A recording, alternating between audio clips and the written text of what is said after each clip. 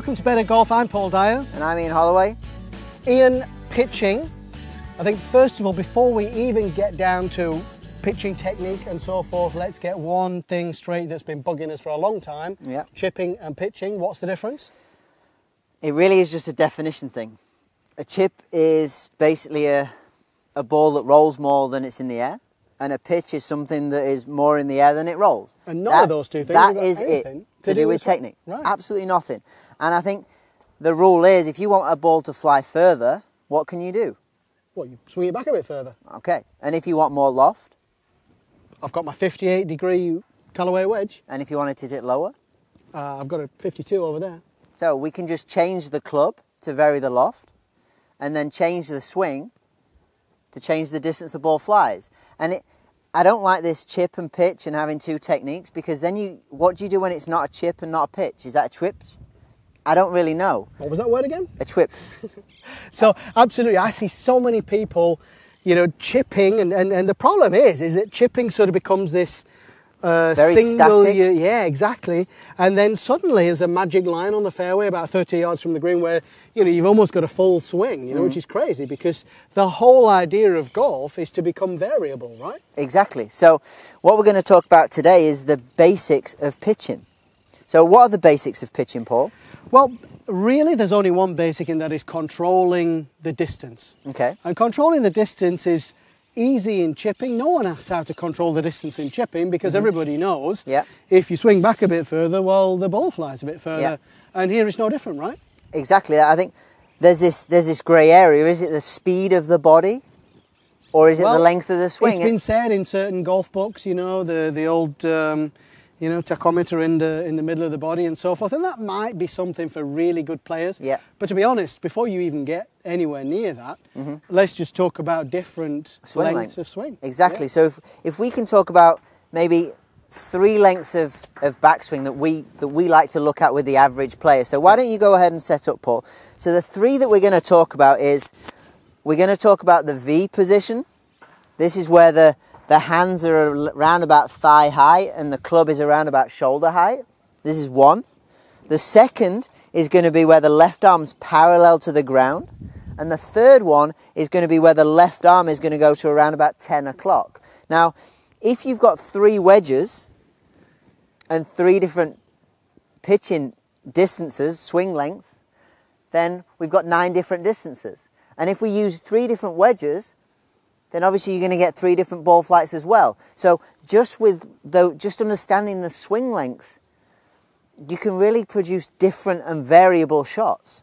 Yeah, and I think you know actually having nine different distances, even though it maybe doesn't quite work like that in practice, Exactly. but even so, imagine being able to pitch it nine different distances at will. It's amazing. There's more than that's more than a lot of the really good players that we work with. Exactly. So you need to really dial in and think about how far you're swinging back. But remember, it's not an exact science. It's not, I need to get the, the club into this position. It's more, okay, right, so this length of shot, okay, let me feel that.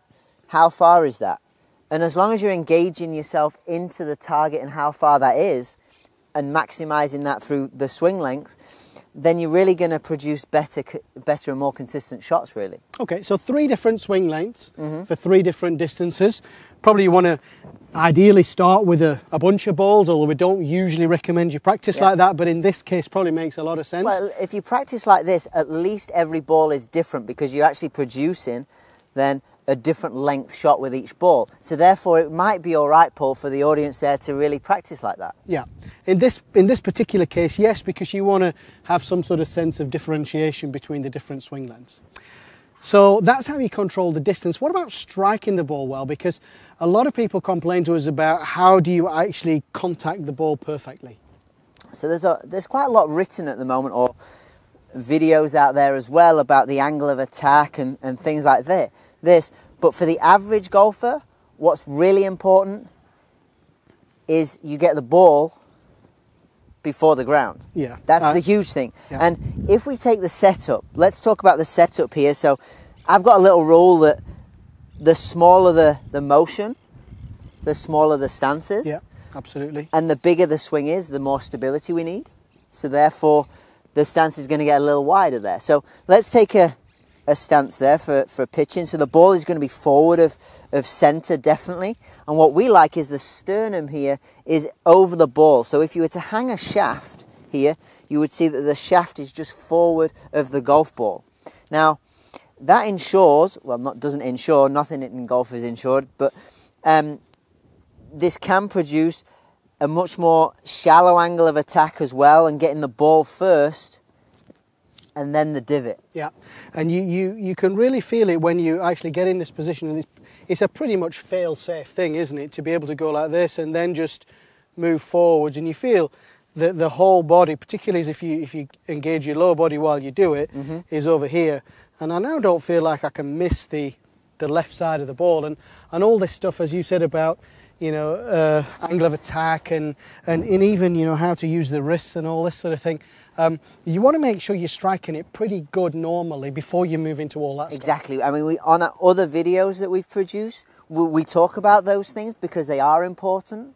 But in our minds, let's get the basics right first, and then let's grow and expand our game and skill level to those skills as well. Okay, so we've got three things for you to summarise in that video. The difference between chipping and pitching, there actually isn't one really, at least technically not. The second thing is control the distance between you with your length of swing, so three different swings, three different distances plus all your clubs. And then the third thing is using this little drill here with getting the weight to the left is that create a setup where you can strike better. So try those three things out first before you move on to all that good stuff. But definitely do that on better-golf.com. You can find a whole range of videos on short game, pitching, all that sort of stuff.